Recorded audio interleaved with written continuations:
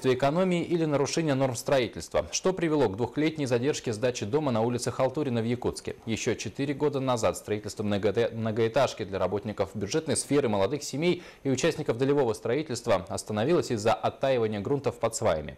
В 2016 году люди должны были получить ключи от квартиры, а в итоге оказались в списке обманутых дольщиков. Тему продолжит Сарглана Захарова. Пять лет назад Людмила Смелова узнала, что вошла в программу по обеспечению жильем работников бюджетной сферы. Получила субсидию от государства и вложилась в строительство многоквартирного дома на улице Халтурина.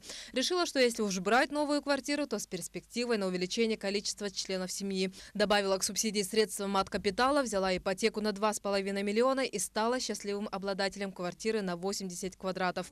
Однако очень скоро радость сменилась разочарованием. Были обронены фразы сотрудниками АРТ может быть, будет пережеребьевка. В связи с чем, сразу, как говорится, создался вопрос, а, сказали, что там не совсем ясно с грунтами. Действительно, при установке свай произошла оттайка грунта. Конструкции не могли прочно закрепиться, а значит возводить многоквартирный дом на них нельзя. В том же 2013 году госэкспертиза постановила проморозить талые грунты. Вручить ключи дольщикам обещали в 2016, но на деле получилось, что даже в 2017 заселиться не удалось. Планировку изменили, сваи усилили, сваи посреди квартир у нас стала безобразная планировка то, что мы изначально вытащили, как мы радовались, и э, то, что по факту сейчас получается, это для меня ужасная квартира. Как нам сообщили в стройнадзоре республики, в эти дни ведомство должно проверить подъезды В и Г, работы в которых уже практически завершены. Сроки ввода остальных подъездов неизвестны. Блок А, он у нас вообще консервирован до достижения э, характеристик грунта, ну, до достижения нормативных характеристик грунта. Но почему произошла оттайка? Об особенностях строительства на мерзлоте говорят повсеместно. Подготовке и изыскательным работам на участках необходимо уделять самое пристальное внимание. Однако сегодня в погоне за экономией зачастую строители пренебрегают этими требованиями.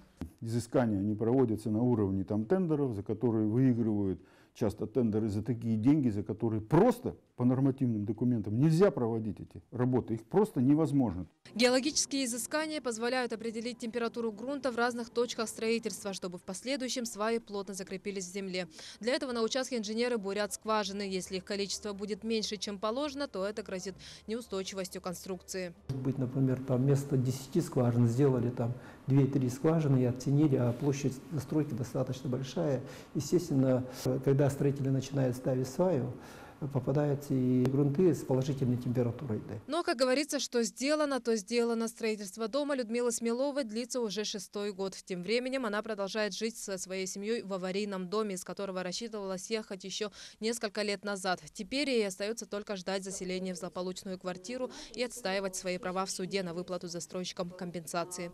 Саргалана Захарова, Владимир Павлов, Григорий Охлопков, НВК «Саха», Якутск.